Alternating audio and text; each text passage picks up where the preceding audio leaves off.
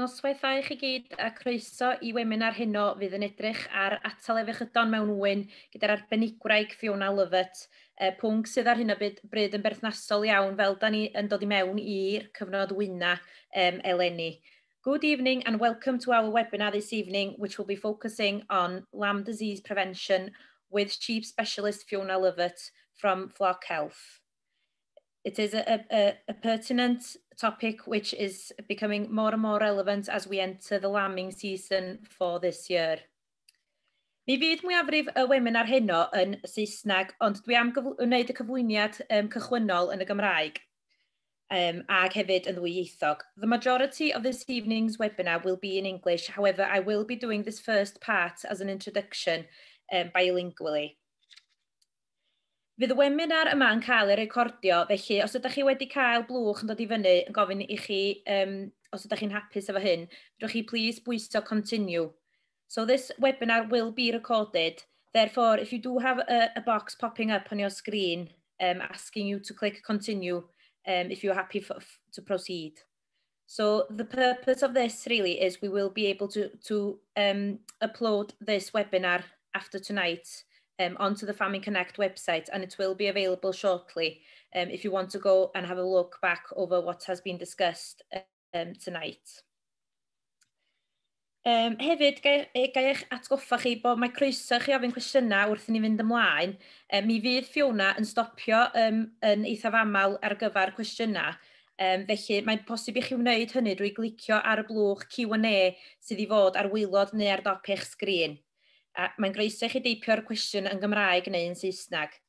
So can I just remind you that you're more than welcome to ask questions as we go along. Fiona will be stopping at regular intervals to answer some questions as we go along. So if you could please, um, if you do have any questions, please um, send them in through the Q&A box on your screen. Um, and as I mentioned previously, um, as I said, we will be we stopping regularly to answer these questions for you. Um, felly, i gychwyn â ni, na i sôn chdig bach am wasanaethau cyswll ffermio sydd ar gael ar hyn o bryd, a hefyd um, unrhyw ddigwyddiadau a gweminarau sydd ni'n dod i fyny um, ar eich cyfar hefyd yn o fuan. So to begin, I will be discussing a, a bit of different elements of the Family Connect programme and the services that we have currently available to you to help improve your business at the moment.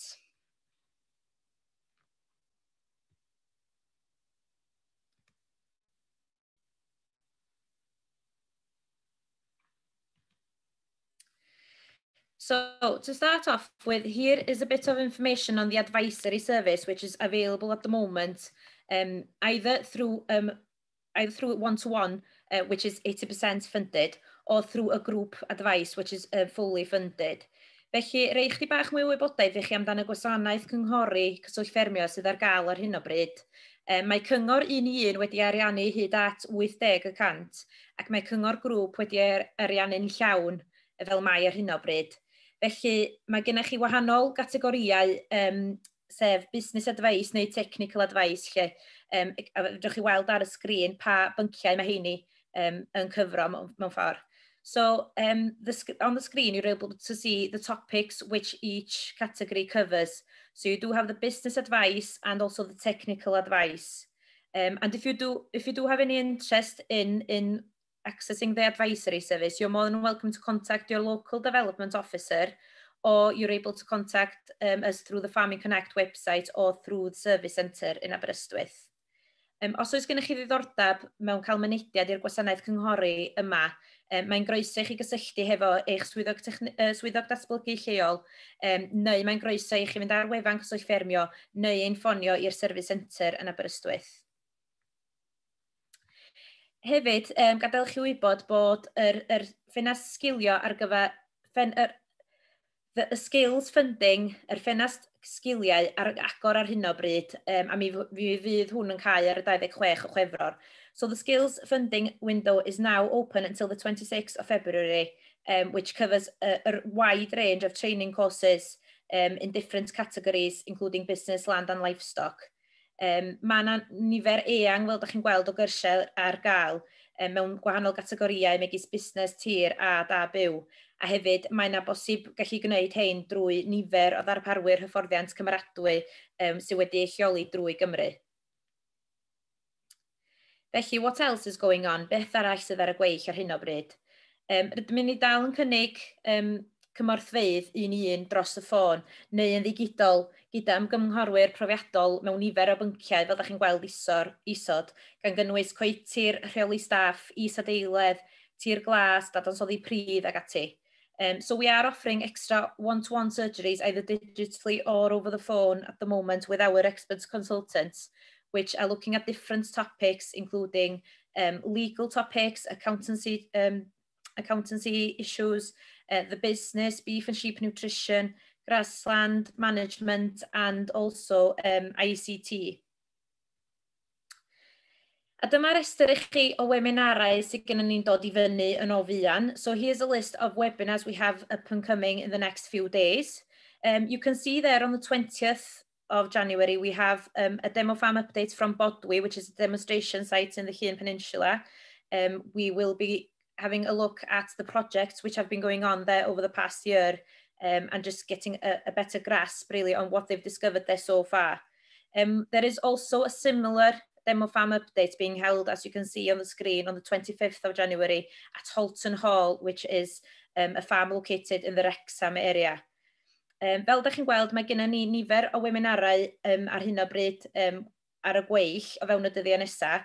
Hefyd, os gael dynnu'ch sylw chi teg at um, digwyddiad sgynny ni ar yr ugeinfa o Ionawr, sef Demo Farm Update yn Bodwy, Fferm ym Mhen Llun, um, a mi fydd y digwyddiad yma yn edrych ar y prosiectau sydd wedi bod yn digwydd yno, um, gan edrych yn benodol ar y fenter bwl beef um, ag ati. Hefyd, mae mi, mi fydd gyda ni un tebyg yn digwydd um, ar gyfer fferm ar ddangos Holton Hall yn ardal Wrexham, a mi fydd hwnnw ymlaen ar y 25 o Ionawr. Felly, er mwyn cofrestru, cofrestru ar gyfer rheini, mae'n croeso chi fynd draw i wefan ffermio. Um, moving on swiftly, um, just to let you know also that we have one-to-one -one telephone and digital assistance for those um, with basic IT skills. Um, so this is up to two fully funded um, two hours telephone conversations um, to offer you support from specialist IT tutors, um, just so you can get more used to using um, IT-related uh, um, packages um, and any issues that you may have with your own personal devices. Felly, um, dim ond gadael chi wybod bod gennym ni diwtorau un i un ar gyfer rhywun um, sydd hefo sgiliau technoleg gwybodaeth sylfaenol um, yn digwydd ar hyn o bryd, sef hyd at ddau ymweliad dwy awr o hyd um, wedi, ar, wedi ei hariannu'n llwyr gan diwtoriad um, technoleg gwybodaeth arbenigol.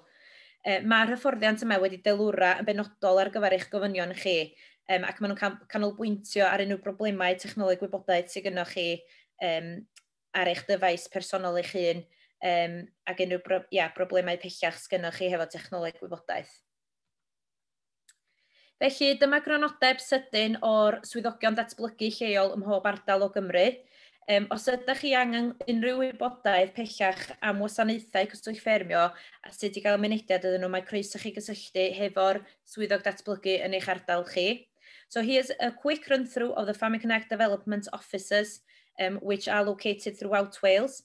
If you do, do need any information on any of the Family Connect services which I have mentioned tonight or any of our other services which are available, you're more than welcome to contact our local development officers in your area.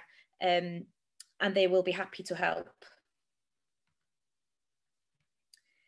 And lastly, here is just um, a, a, a quick um, slide which shows you um, the contact details for the Farm Liaison Service located um, across Wales. Um, they are offered to, um, they are able to offer advice about policies and grants and so on. So if you need to, to discuss any issues, you're more than welcome to contact them. So dyma um, grynodeb sydyn o manylion cyswllt y tîm cysylltwyr fferm FLS sydd ar gael ledled Cymru. Ac os oes gennych chi unrhyw broblemau neu unrhyw ymweliadau am polisiau a grantiau, mae greu chi gysylltu hefo nhw. Neu, yn olaf, um, dyma rif ffôn y Service Centre uh, ar gyfer cyswllt ffermio a hefyd cyfeiriad ein gwefan. Um, os ydych chi angen rhywbeth, mae croeso chi gysylltu unrhyw adag. Um, so here is um, the phone number for the Service Centre for the Farming Connect programme. Also here is the website address um, if you need any more information on anything and you're more than welcome to contact us anytime.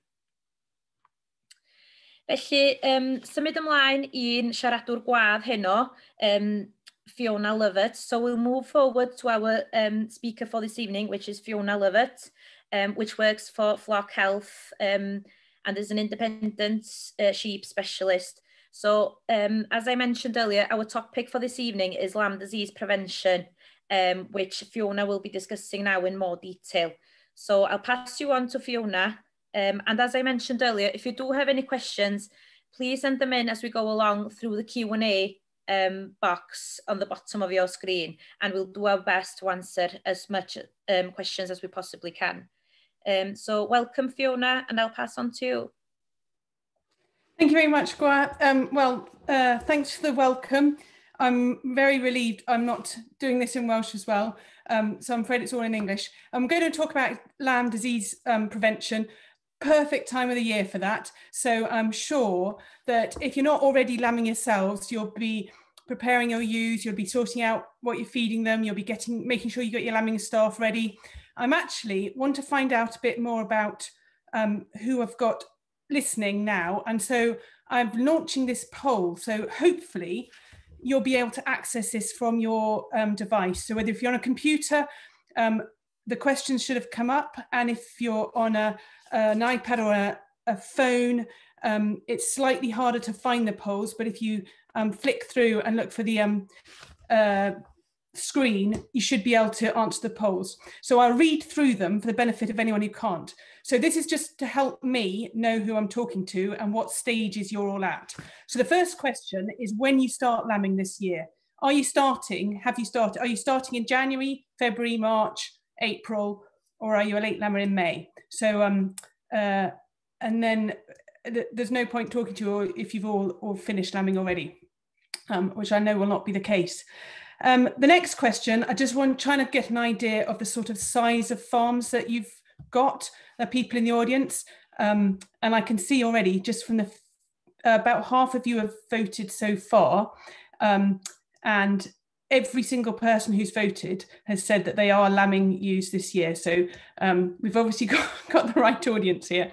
And then my final question in this poll is what you're most worried about facing this lambing time in terms of disease issues. Are you worried that you might get lambs that get watery mouth or rattle belly? Are you worried that you might get lambs getting joint ill? Or maybe you might get lambs getting scour? Maybe you're worried that your ewes might not have enough milk or colostrum, or maybe it's something else on your mind.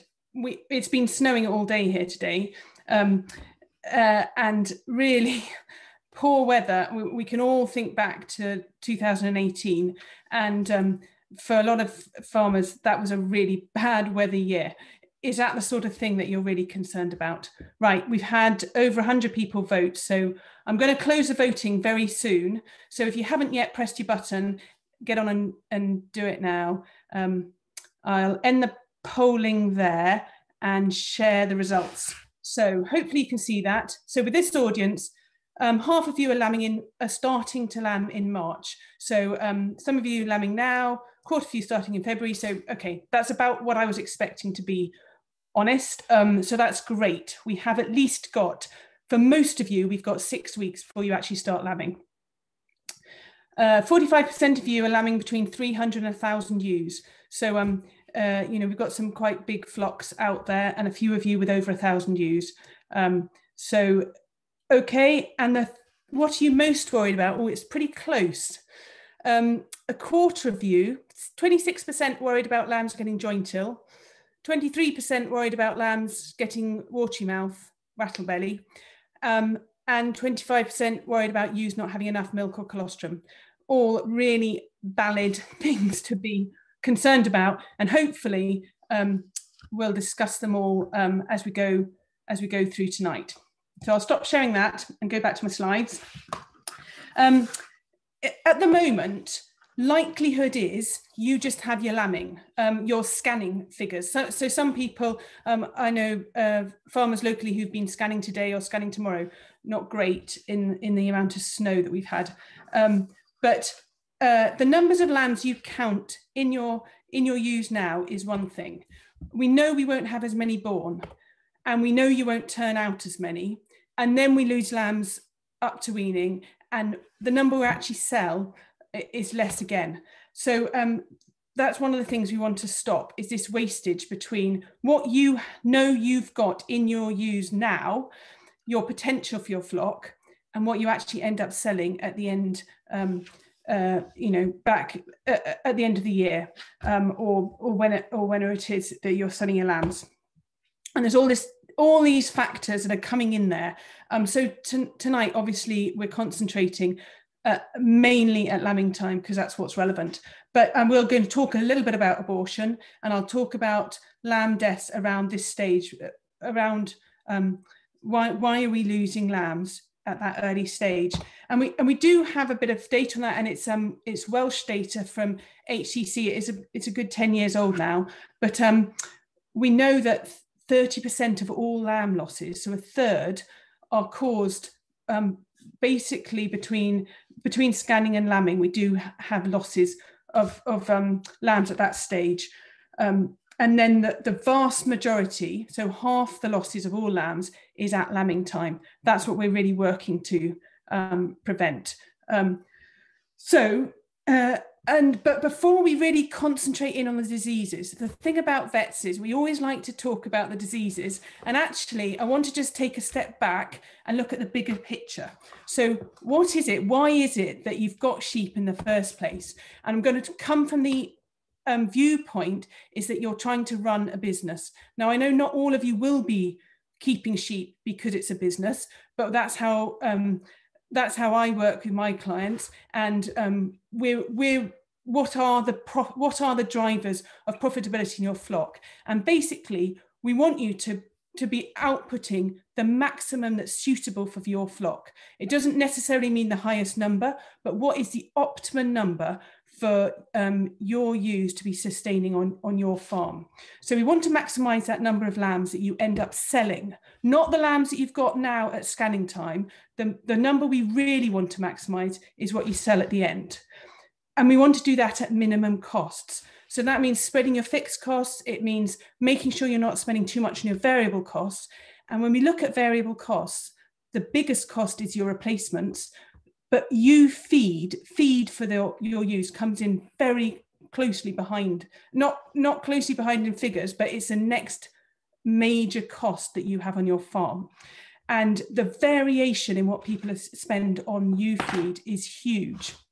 Sometimes it's because you having a you're going to have a panic in the next month or two and i see it time and again of it's the last month before lambing and somebody goes out and spends an absolute fortune on blocks or buckets or high energy this because if suddenly in a panic and it's a sort of insurance policy. Um, sometimes it's it's it's a lot of money that's not spent in a panic but um, one of the things one of the reasons we're so busy at the moment is because we're sorting out diets with people.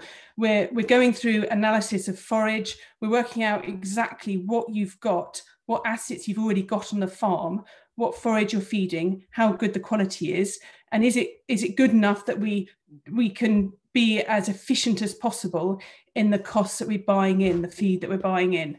Um, so uh, that that's a really important way to look at it.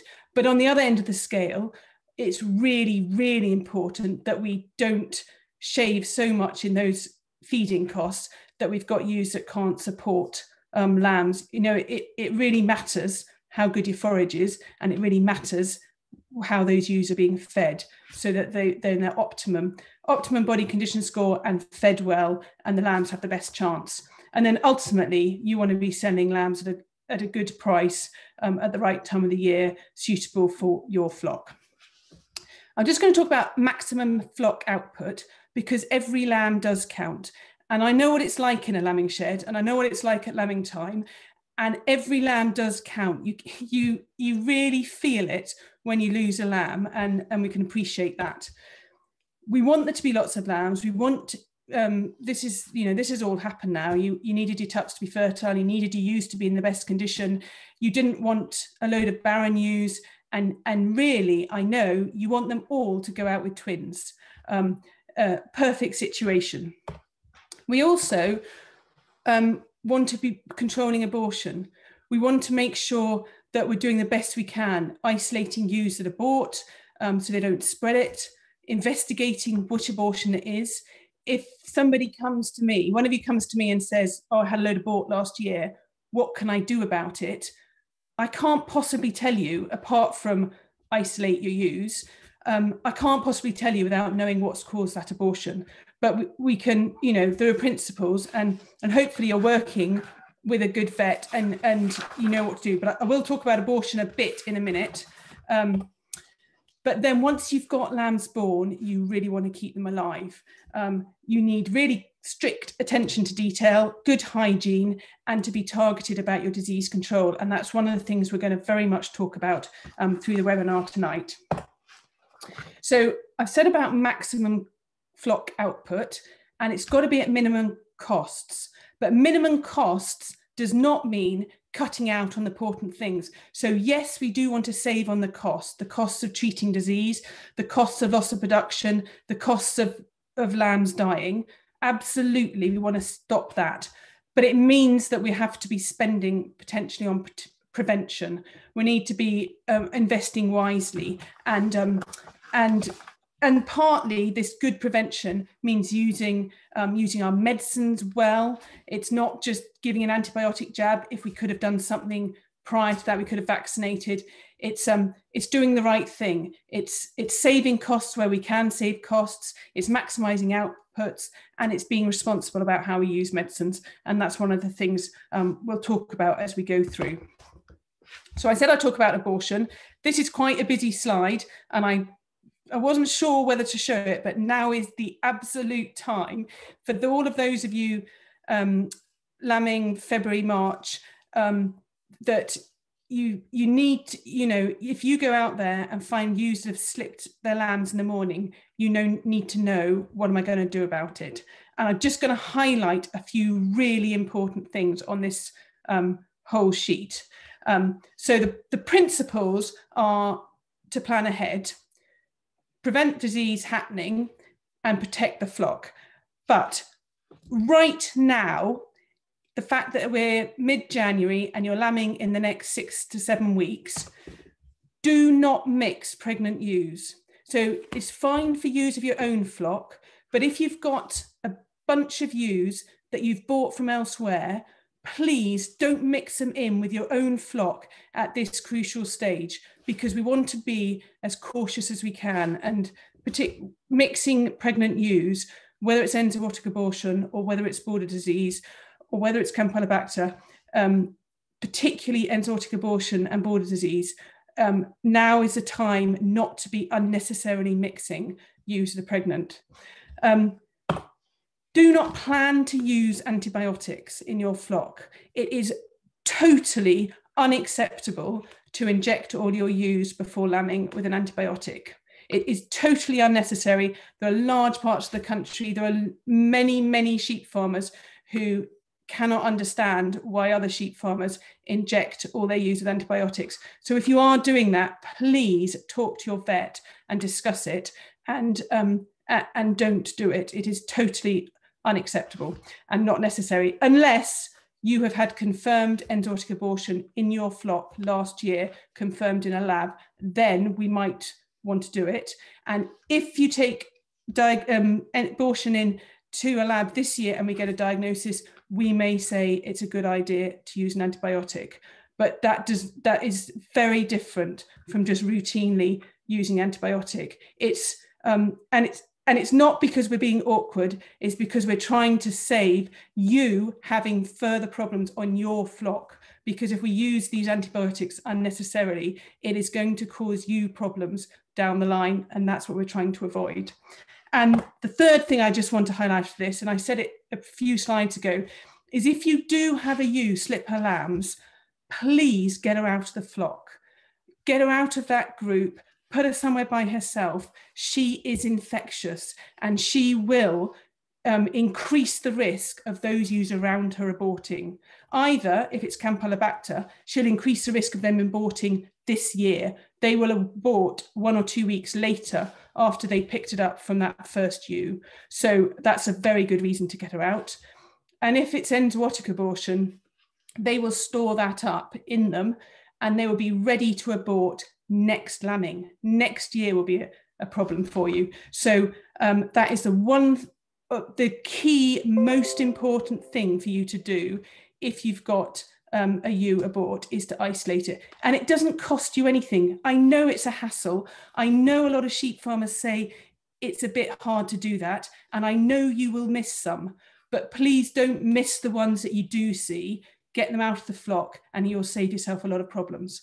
So there's a lot else on that sheet, um, but that's sort of for another time. I would honestly say at this time, um, six weeks before lambing, those are your three most important things to remember with respects to abortion. And otherwise, apart from that, I'm not going to talk about abortion again, but I'm more than happy to answer questions as, as we go through. So back to the big picture, keeping lambs alive. So lamb survival depends on ewes being in a good body condition score, and that's from before they went to the top. So um, before they went to the ram, we needed them to be in good body condition score, but keep on it and keep an eye on it. And um, you know, those of you we we've been working with quite a few um, farmers looking at body condition score, making sure we've got um, ewes in the right group. That is really important. And the other thing um, we've also been doing is making sure that people are feeding it right. I've already mentioned ewe nutrition, and now it is crucial. So, any of you who are lambing in the next six to eight weeks, it is from now that you really need to be thinking about ewe, ewe nutrition, um, particularly for your twins and your triplets. Um, often, in terms of protein, it's not to the last couple of weeks where it really matters, but energy, um, we generally start, depending on the, how good the forage is, from six to eight weeks before lambing. Um, I've, I've got some farmers who the forage is, is brilliant and we're starting to, to feed the twins um, four weeks before because they've got quite enough just from the silage up to now. But, but we do a quite complicated um, analysis to work out exactly what to do based on the, on the forage analysis. Um, but the, the important thing is think about energy from six to eight weeks on, and then protein for the last two to three weeks is where it really, really matters when the user making colostrum. We really need good colostrum. Um, and that's one of the keys, and I'll talk about that again. Um, we really need good hygiene, and that's how we end up with happy, healthy lambs. And those are the sort of key outside things to be thinking about um, for your flock. So back to this slide again, and I'm just going to launch the next poll because I'm talking particularly now about um, watery mouth. So from this audience, I would really interested to know if you think about lambing, your lambing on your farm last year, how many cases of watery mouth did you actually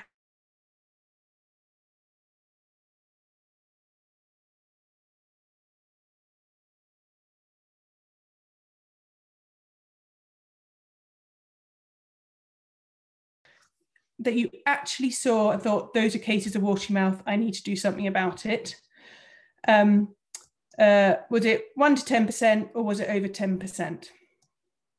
And the next question is, um, um, wanting to know whether you gave antibiotics, whether you dosed lambs with antibiotics. So is it that you gave a dose to no lambs at all? Is it that you gave a dose of Spectam or Orojet to some of your lambs or to all of your lambs? Or did you perhaps give either a tablet or a different antibiotic um, to some or all of your lambs? Um, by the way, just in case you, anyone's concerned, I have no idea who's answering what question. So please be honest. There's, there's, no reason not to be honest. Um, uh, it's just really helpful for me to know how, how my audience is, is um, acts at home so I know what to say basically. And then um, exactly the same question, but have, have you changed what you've done with antibiotics for newborn lambs? Um, so was last year different to what you did previous to that? Um, we've had over 100 people vote. So I'll just give you another couple of minutes Um, I'm quite sure that some of you probably can't vote. Yeah. Um, so, right, I'll end the polling there. 125 people, that's quite a good. Um, have I shared those results, Egwar? No, hang on, that's it. That should have shared, yeah? Okay. So answer to your question, how, how many cases last year? So the vast 40, 44% of this audience had under 1% of your lambs had watery mouth and um, 31% of you had um, under 10% of your lambs have watery mouth and then a quarter of you had no lambs at all. It's quite interesting.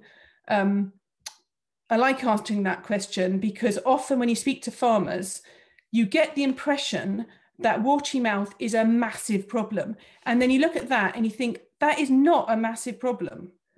You know, under 1%, mo most of this audience had less than 1% of the lambs. I know it's bad. I know it's bad for those lambs, but um, it's important to put it in the big picture.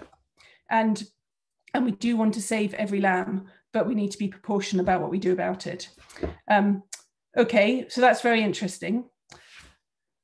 Last year, did you give antibiotics into mouth of newborn lambs? 46% of you to no lambs at all. Brilliant. 34% uh, to summer lambs. Only 15% gave a dose to all your lambs.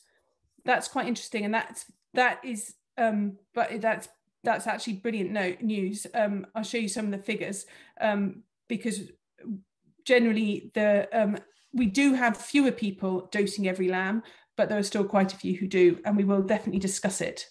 And just a very few of you giving tablets, um, which I have to say, there, there are no there are no tablets licensed in sheep. So if you are giving tablets, um, you need to be having a conversation with your vet. You can send your vet. I'll have a conversation with your vet if you like. Um, really, um, no vet should be giving out tablets for lambs.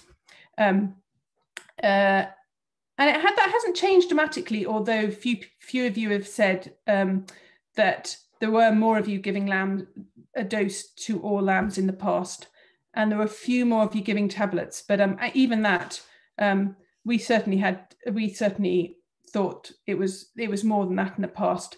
Um, so, um, but things change, and that's great. So, um, thank you, um, thank you for voting there. I'll stop sharing that and go back to here. And we're going to, so we're going to talk specifically about watery mouth. And watery mouth, it has been common for people to be giving um, doses of antibiotics, oral doses, um, to lambs, um, healthy lambs, um, to prevent them getting watery mouth. and actually, you can see back in lambing of, two, of 2016, uh, across the UK, we had uh, 11 and a half million doses of oral antibiotics sold. Um, it's a figure that I personally are hugely embarrassed about.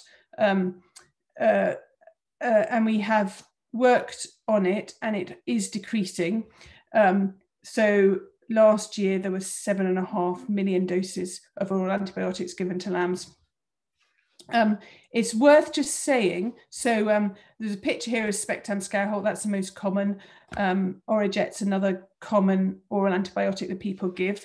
Um, it is just worth saying, where you look at the VARSS report, which is um, antibiotic data, uh, the reason people give oral antibiotics as a prophylactic, in other words, to healthy lambs to try and prevent them getting watery mouth, um, it's to prevent uh, E. coli.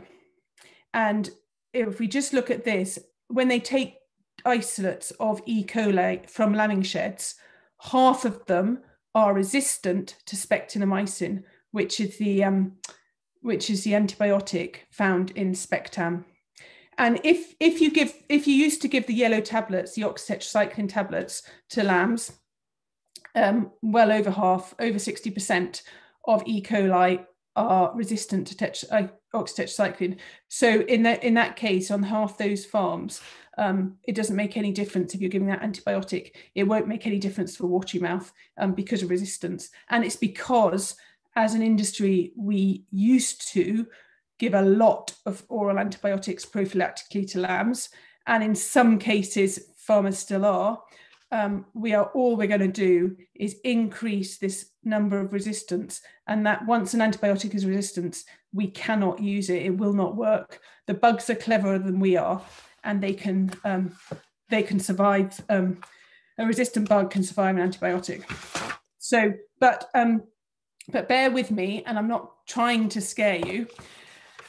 What um, the good practice guidelines, and so this Sheep Vet Society and um, RUMA, Responsible Use of Medicines in Agriculture, um, who, uh, and the graphs are put on the previous slide, um, we put together in the RUMA report.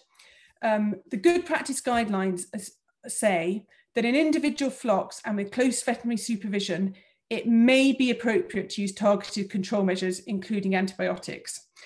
But in no flock, no flock, will it be appropriate for all lambs to be treated routinely from the start of the lambing season. So that means if you're lambing in the next couple of months, it is not, you, you cannot now say, my first lamb born, I'm going to give an antibiotic to, and then I'm going to give it to all my lambs because um, it, that is that I'm afraid is not appropriate. And the reason it's not appropriate is because we're trying to save for far far worse issues in your flock.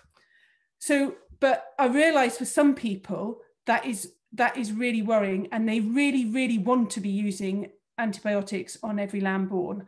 And I'm going to talk you through it because um, I've worked with a huge number of flocks, and I can honestly say there is not one flock that needs to be doing this from the start of lambing, not even your flock. So um, bear with me. Um, if we think about factors that are important for, for the success of lambing, we think about the ewes, we can think about the shepherd, and we think about the environment. Those are my three most important things. The shepherd is responsible for planning ahead. We need to protect the ewes and we need to prevent issues in the environment. Okay, and now I'm taking that into a, in another picture in the next slide. We're planning ahead. Um, and so what does planning ahead mean for you as a shepherd? It means sorting out the diet. We've already talked about that. That's a brilliant thing. And I know a lot of you, and, and through Farming Connect particularly, have been analysing your forage and sorting out, making sure that your user have got a quality diet. Um, you need to plan, you need to plan your staff, you need to plan what you're going to do at lambing time, coming to this webinar, this is a perfect way to be planning ahead of what you're going to do. And you need to be thinking about colostrum. You need to be thinking about met records and things. Prevent, preventing problems. Now, if you're lambing outside, that, that might mean sufficient shelter. It, it might mean putting bales up, um, doing what you can to prevent um, uh, lambs getting exposed in poor weather if you're lambing inside, it means um, clean, plenty of um, fresh bedding, um, no drafts. It means turning the ewes out as quickly as possible before they get before the lambs are build up in a in a in a mucky shed. It means hygiene as good as you can, and it means everything being as clean and as as it possibly can be. Um, stomach tubes, uh, teats, ear taggers, everything clean as much as possible. And then, in terms of your ewes, we've said they need to be fit, good body condition score. They need to be fed well, um, good diet. They need to be fully vaccinated. They need to be sound, and they need to be dag. They need to be clean. You don't want any. You don't want anything there that's going to upset the lamb. And if they are well fed, um, and in good body condition score. They've got every option, they've got every possibility to make the best colostrum they can. And the colostrum is what's really important. You will have seen this before colostrum is gold. Really, the most important treatment, put it in inverted commas, the most important thing, the only important thing that goes down a lamb's throat at birth is colostrum. It's um it's it's absolutely essential. Um, and it's without colostrum, then we do need to turn to other options. If we've got good quality colostrum and we've done what we can to get good quality colostrum, um, our lambs have the best chance of, um, of, of doing all right. Now, some of you still want to dose all your lambs at birth. I know you do. Um, and if you don't, there are plenty of sheep farmers that do. And there are a couple of reasons for this. It might be that you have a genuine current risk of watery mouth, Although I have to say, from that poll, um, uh, there were there were there were a few of you there were a few of you that had up to 10% of your lambs. And i agree if you're getting 10% of lambs with watery mouth i agree you have a current genuine risk. But that was last year. You have no idea what's going to happen next year uh, this year um, you might uh, have had a previous outbreak and you you started to use an antibiotic and you're fearful to stop you might have heard people talk about using antibiotics, and that's why you do too. Or you might genuinely think, actually, it's quite good to be giving lambs antibiotics at birth. I have to say, um, a lot of the evidence is showing it's actually um, upsetting that biome in a lamb's stomach with an antibiotic at birth is, is far more likely to be detrimental than, than beneficial. Um, but in whatever whatever whatever the reason is that you give antibiotics to your lambs at birth, I would encourage you to work with your vet um, and to divide the flock into high risk and low risk groups so you can be targeted about about what you do do, and then you can allow for changes as as lambing as you go on through lambing. So if you're deciding which lambs should I give a dose of antibiotic to?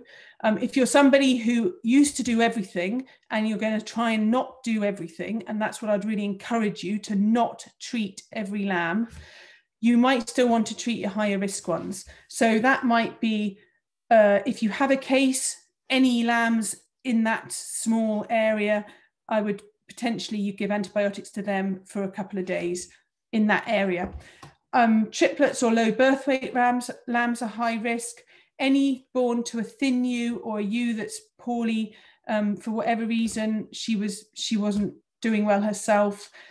Um, when the environmental conditions are really challenging, um, if it's really cold, really wet, really snowy, and there's a build-up of muck, um, you know, when things start to go wrong because of um, weather, staffing, and going as you go on through lambing, potentially it becomes higher risk and potentially you might want to start using an antibiotic. Preferably you won't have to, um, but you might want to have a bottle there on hand in case those circumstances start.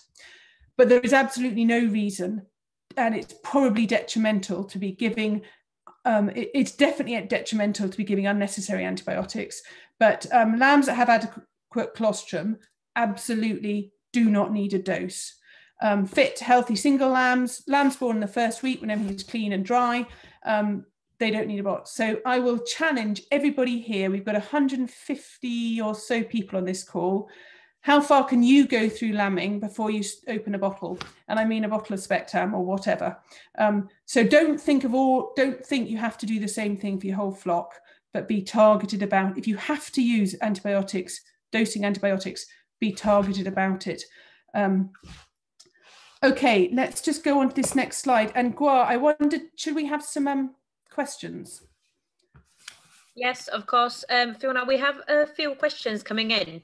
Um, you noticed on your um, one of the one of our attendees tonight noticed that on your abortion slide, um, you recommended not to foster ewe lambs onto ewes that had aborted. Is there a particular reason why for this? Oh yes. So if you've got enzootic abortion, in the flock and you put a ewe lamb onto that ewe, uh, that ewe lamb uh, is potentially picks it up and is programmed to abort at her first lambing. So if you're keeping your ewe lambs, definitely keep them away from any aborted ewes.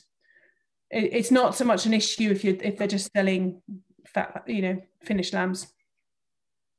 Yeah, no, I, I think um, that's maybe something um, a lot of us tonight haven't heard before. So um, uh, it's good to get clarification on that. Um, some other questions we have coming in. Um, the first question we had come in this evening, is there a strong potential for pathogen burden in an earth floor lambing shed? Um, in, in, case of this particular farmer, uh, they lamb indoors from late February on until early April. Um, they do also have feet problems. Um, so yeah, do you so, think that uh, the in the shed so in, a, in, an ideal situation, you want to be able to clean out from one lambing, um, get down to proper hardcore or concrete.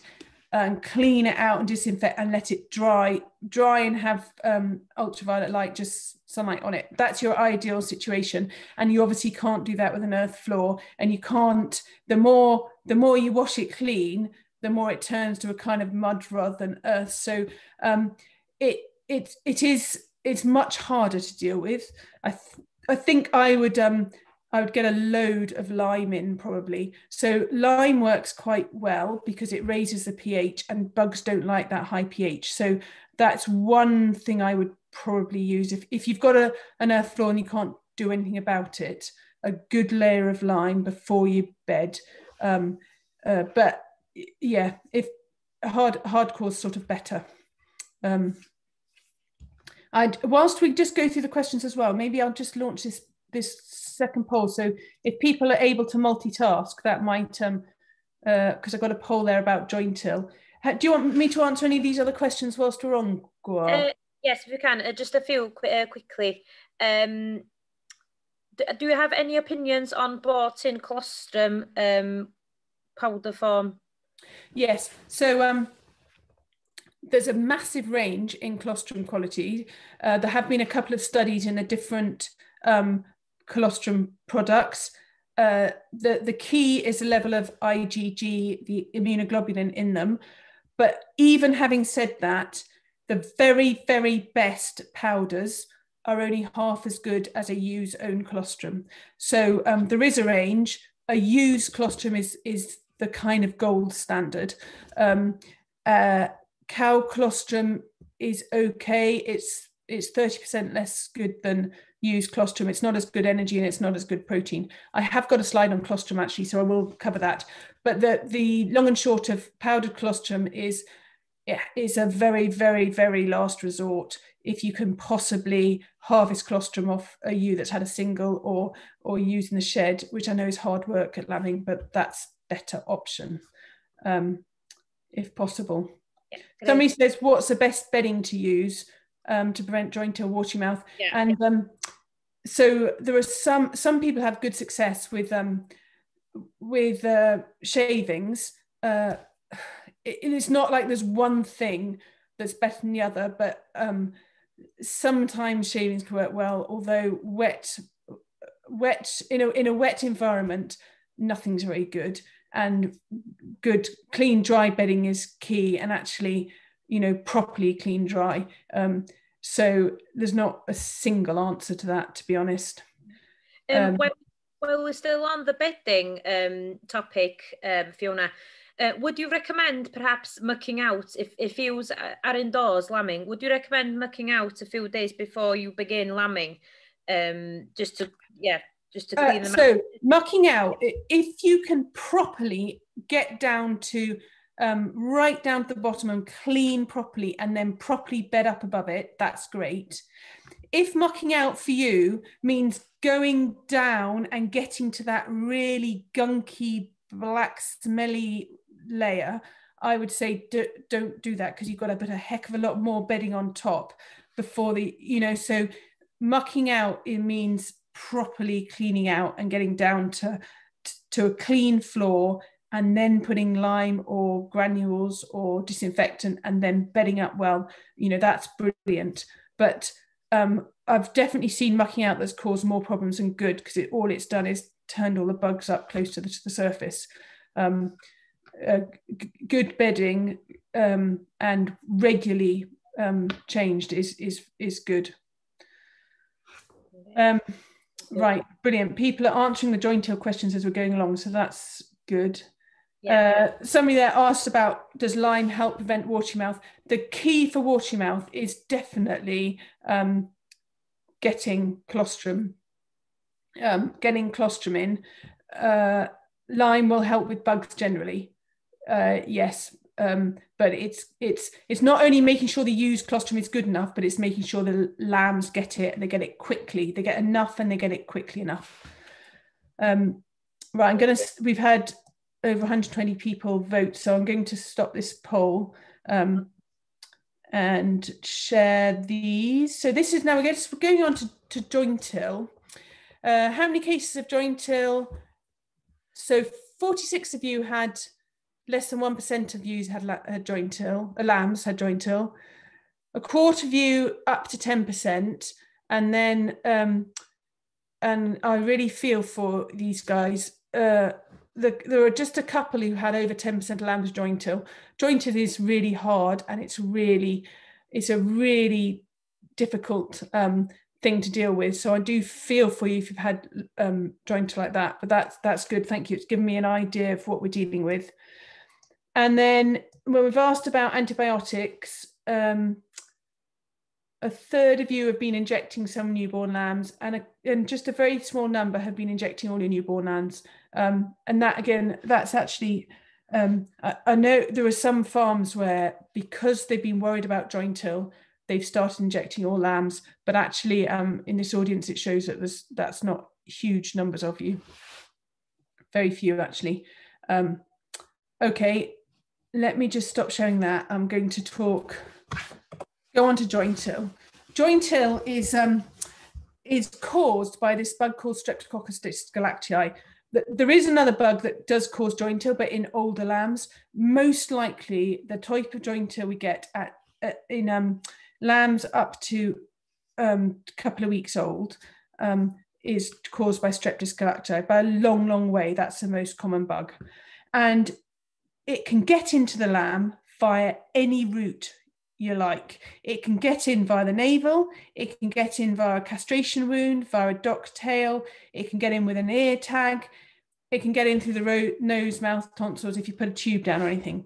And all these things are potential things to carry the, the joint to the lamb. So we know we get ewes who are carrier ewes and they have it in their birth canal. So the minute the lamb is born, it picks up the strep as it comes out through the birth canal. We know these carrier ewes also have the bug on their teats and in their milk. So they can transfer it to their lambs. Um, uh, and and th- so their lambs are much more likely to go down with joint ill. We also know that um, it can be spread on tubes, bottles, on your dirty hands. If you've lambed a ewe, um, and so you've had your hand inside one ewe and picked up the strep on your own hand and then gone and dealt with a, a separate lamb or tagged another lamb or you know then you've transferred the strep from the carrier ewe into maybe her own lamb but, but her own lamb, other lambs who, who haven't otherwise had contact with her birth canal so that's one of the reasons having being as clean as possible is important and joint ill in the past we always used to think it was a kind of disease of dirty lambing sheds. And i honestly i have seen joint ill on some absolutely immaculate farms. Um, and they've had a problem with joint ill and i think it's because they have a lot of carrier ewes and they get a lot of lambs infected that way. We know that, that strep um, can survive well on dry straw. So um, it's not it's not just a disease of dirty conditions. Um, so uh, and a lot of people were told that in the past and they were told well as long as you keep um, uh, disinfecting the navel you'll stop joint ill you know that that's it is important to be good on your or disinfecting navels or to be iodining or um and do that at birth and potentially do it six hours later as well. But that's not the that's not the only cause and it's not always in dirty lambing sheds it can be in quite clean lambing sheds. Um, so what do we do about joint ill we again we consider all practices and make sure that you have have really gone through with a fine tooth comb everything that you're doing on your on your farm um, and, and, work with your vet to work out what it is. There is not a single cause and there's not a single thing that you can do. There's a myriad of different things that you can do to help prevent joint ill and and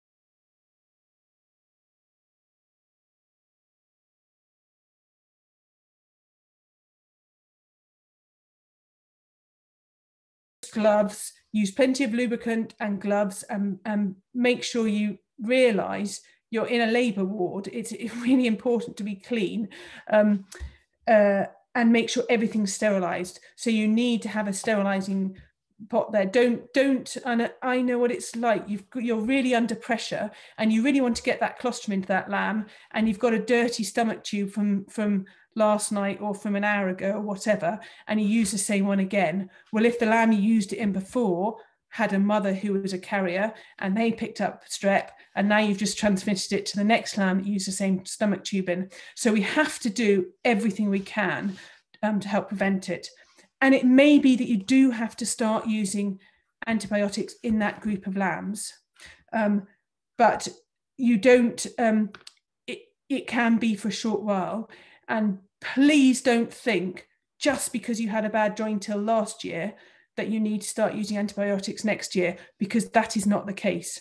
Um, we, it is a complicated and it's a frustrating disease, but we've dealt with it with a number of farmers. In fact, this these pictures here um, are an old building in my, my colleague um, Philip that I work with, they've had years where they had joint ill problems and they've been really tempted to go in with antibiotics. They, they've they've controlled it in those groups, um, and they and but they haven't. The following years, they've they've not had the same problems. So they know with that with this particular building, a wet a wet weekend um, there can be a build-up of moisture and it can set away joint ill and they and they they they know what sets it off on their farm.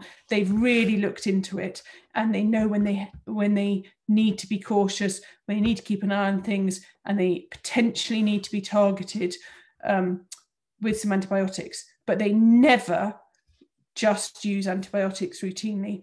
Um, um, in the last, um, we I've spoken to a number of different vets, um, actually from all over the world, who've been dealing with joint ill issues, um, and I know people have done studies on farms in Wales.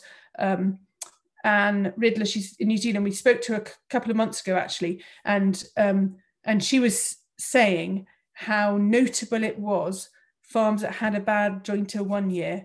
Um, it seems to just it, it's not there in future years. And that's not because they're using antibiotics. It's because it comes and goes with different with all those different factors we've spoken about. Um, so uh, uh, and exa- exactly same as some Spanish vets where they they had issues.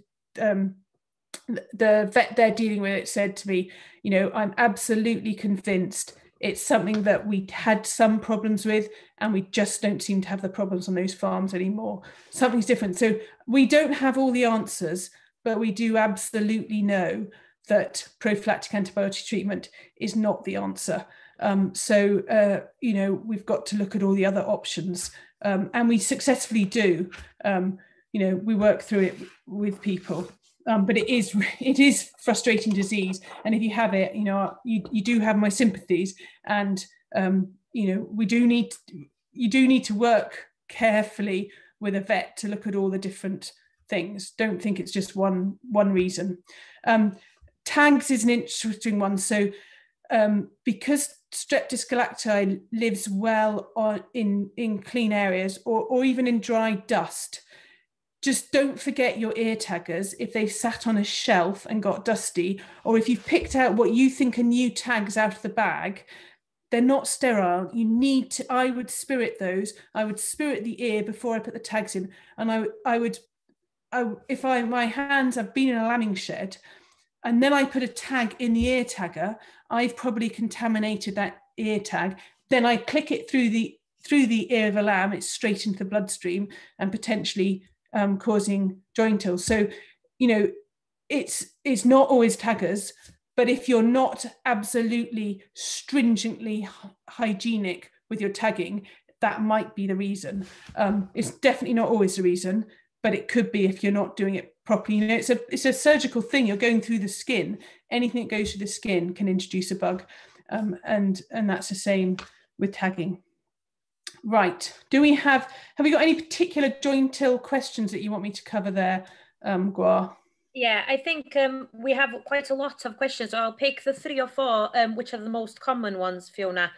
Um, so what would you recommend putting on the lamb navels in order to avoid issues with joint ill? Is there anything in particular which is better than than Oh, now we have this debate quite often. I've done quite a lot of um, looking through the literature first off and looking in piglets and calves and uh, uh, and on balance, a strong 10% iodine with some alcohol in there. So the key, what you're trying to do is dry out the dry out the navel as quickly as possible and let it shrivel up as quickly as possible and clean it as well. So you need something that desiccates, something that dries, and something that that cleans. So um, yeah, I've done quite a few polls with with some really good sheep vets, and on balance, everyone likes something slightly different, but on balance, um, 10% iodine with a bit of alcohol, good alcohol content to, to dry out is is what people look for.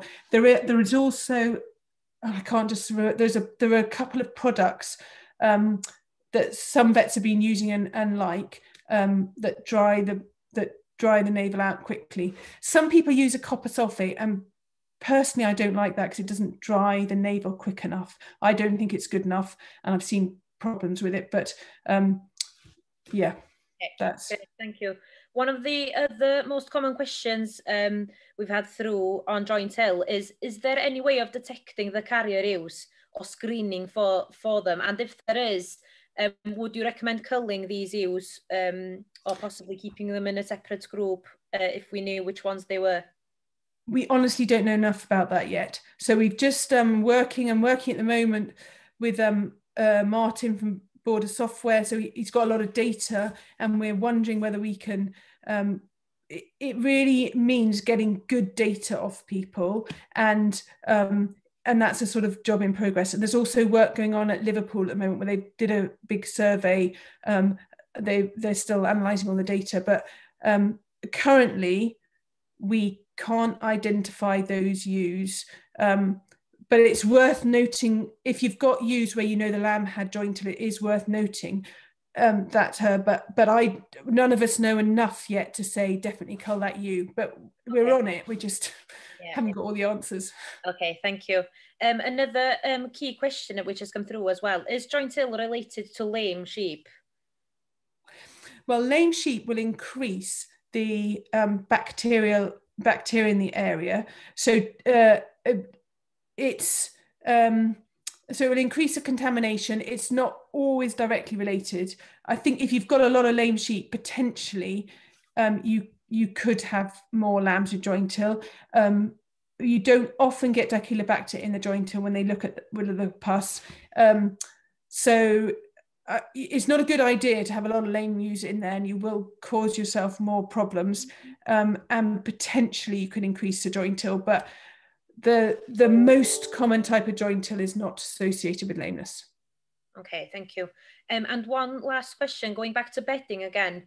Um, would you recommend spraying the disinfectant before or after putting the straw down or both if you were using um, a dry disinfectant for for example in the bedding, underneath the bedding, you mean? I, I would put, I would, if you were using granules or a dry disinfectant or lime, I'd put it right down the base level and then bed nicely on top.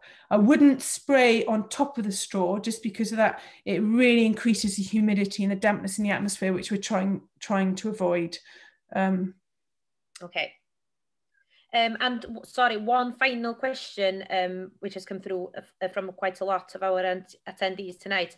Would you recommend dip, dipping the iodine on the navel or spraying it? Um, um, well, I prefer dipping because I like it to properly go all round. So if you've got yeah. the navel and you've got a, you can properly make sure it's um, gone around. So if you if you're really um, conscientious sprayer and you can and you've made sure you sprayed the whole lot, but usually often there's the the navel's quite you, you kind of want to gather the navel up and, and put it in a cup yeah. to, to dip it. You can't you, you can't get a good enough coverage i don't think with a spray. And sometimes you see people that they've sprayed only from one direction and you think well you've only done less than half a job there with that so that's definitely not going to be enough. Okay. Um, and also how often would you recommend um, dipping again after you know after they've been born um, when you yeah. dip them then? Would you yeah.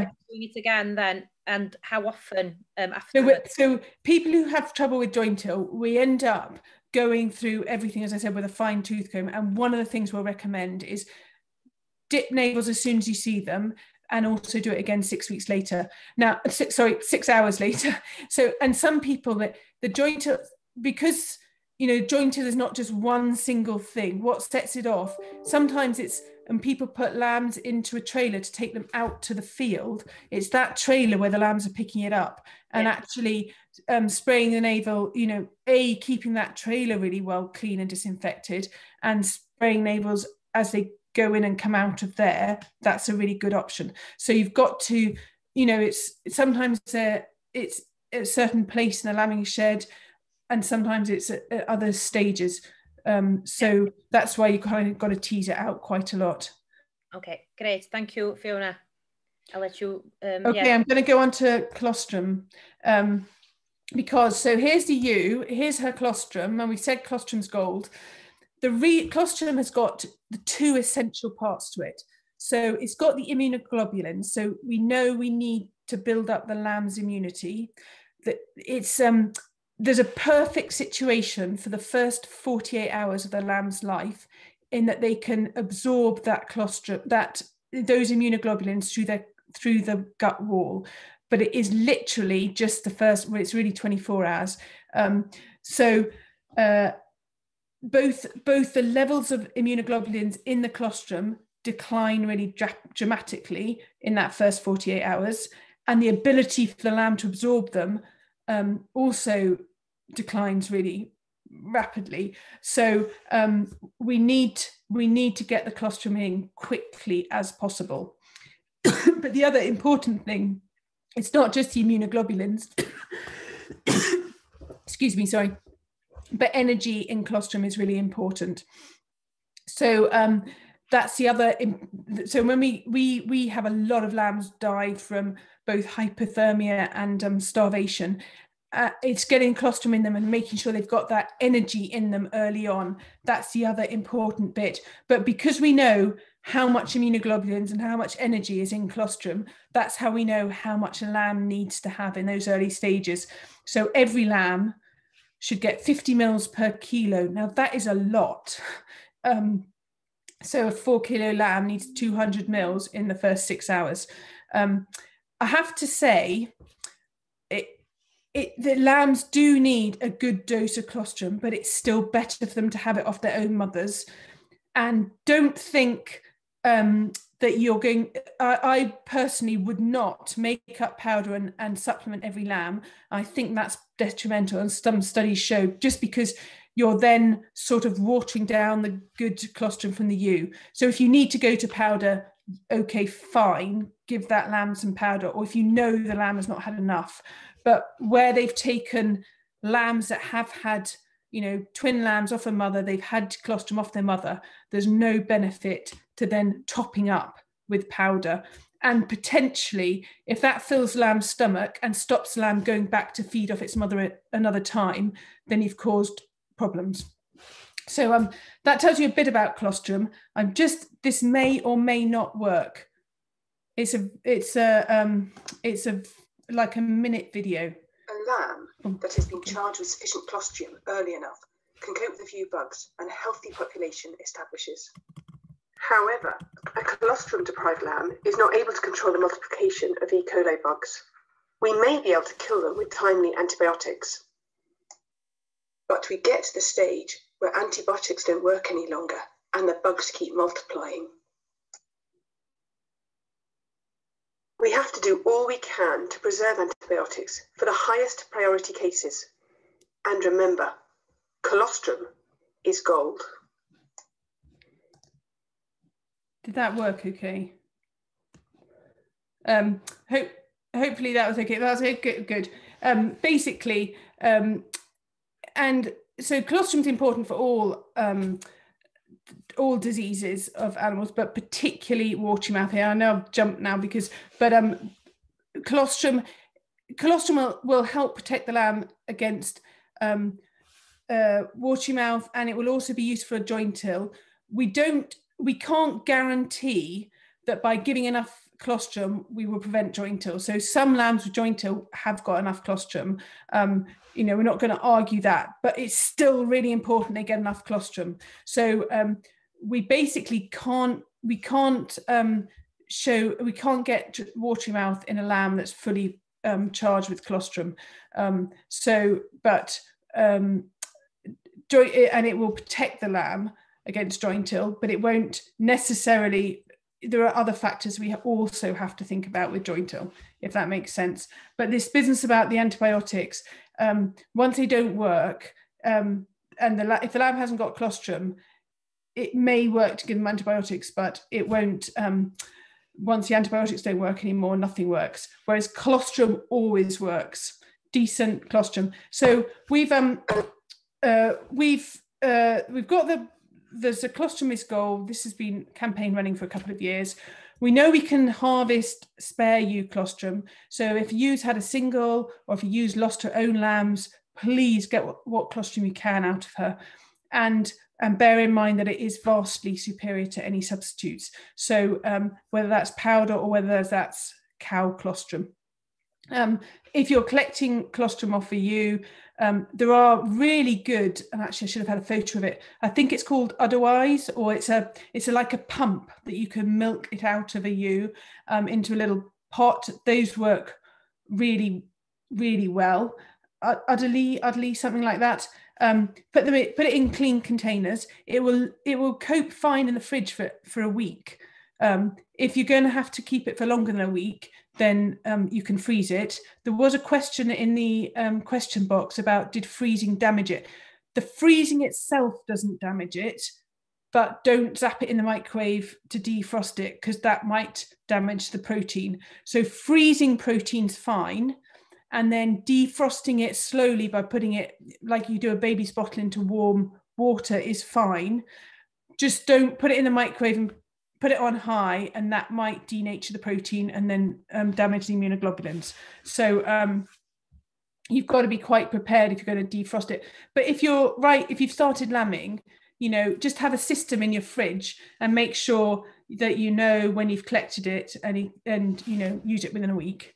Um, We've got a lot. In fact, I know for a fact because we have, I think there are over 150 of these Brix refractometers. Um, I've gone to farmers in Wales and people are testing colostrum. Um, so uh, that's a that's a useful piece of kit to have and test your colostrum. Now, we're not suggesting you do that on every single ewe, but it gives you a good reassurance that your ewes are producing colostrum that's of a decent quality. And then um, you can, and I'm not suggesting this is not something that you can necessarily do yourself on farm, but the other thing we'll do is, is blood sample lambs at two days old because it's one thing to have good colostrum, but you need to make sure it's got into the lambs and the lambs have absorbed it. So the, the most common cause of lamb issues or lambs dying is that they've um, we we we look at the blood and find that they haven't got immunoglobulins in their bloodstream. So that just means they haven't had colostrum. So even though farmer thinks it's happened actually um, the lamb you know s- somewhere along the line the the colostrum is the used colostrum is not actually getting into lambs as quickly as it should be. Um, so it's really useful to be able to check that but um, we use this um, Brix both to check colostrum um, and check blood supplies, um, the lamb blood, um, which is a vet thing, obviously. Okay, I'm just going, this is a bit random here, but I know I actually one of my favourite Welsh sheep farmers is a keen cyclist. So I just want you to bear with me. And this is my last slide. Uh, but if you know anything about cycling, we used to be a disastrous cycling team in in the UK. Um, we didn't win any medals for um, for the whole of the last century. And then somebody else took over the team, and he was a real attention to detail person. So they did things like paint the inside of their truck white to pick up every bit of dust, every tiny bit of dust. They washed their hands. They did what all of us are now told to do. The British cycling team were doing that because they didn't want to go and do they didn't want to go and get a cold or a virus or something. They were really meticulous about their hygiene. Um, they never shook hands because that meant they might pick up other people's diseases. I mean, it's something that none of us are doing now because we don't want to pick up COVID. They were doing that, you know, um, years ago because they wanted to be at top performance. So it's this lots and lots of little things. Um, and it really worked. So they, you know, I you may not follow cycling, but they won the Tour de France six six times in eight years. Um, it, it really worked. They didn't do one big thing.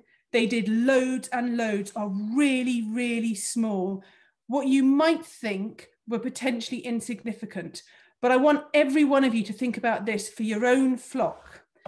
So, what areas in your lambing shed or at lambing time it might be really small. It might be a pot of sterilizer. It might be new gloves. It might be making sure there's warm water there.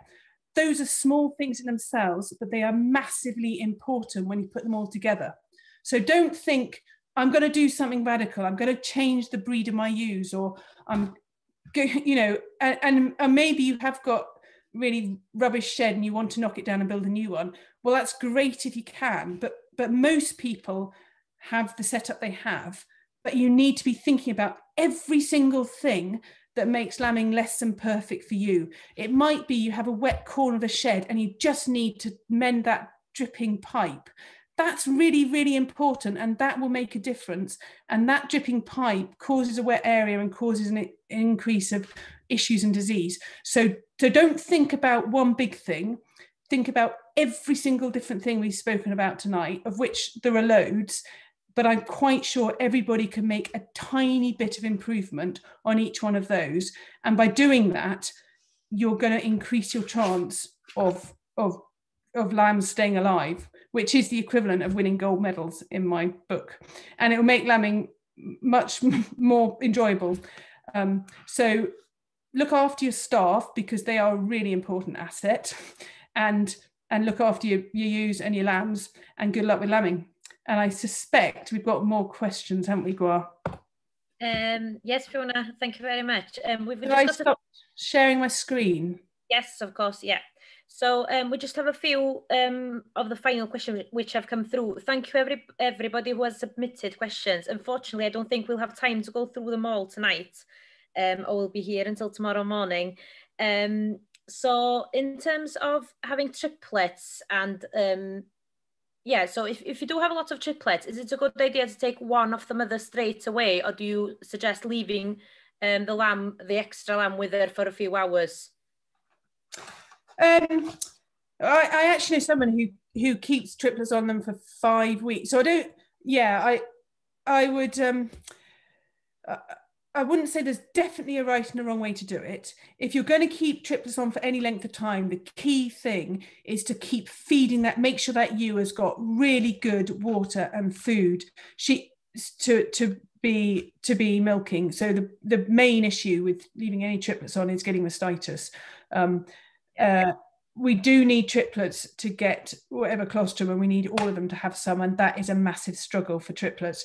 Um, that's why none of us want none, none, of us want triplets. We all want twins.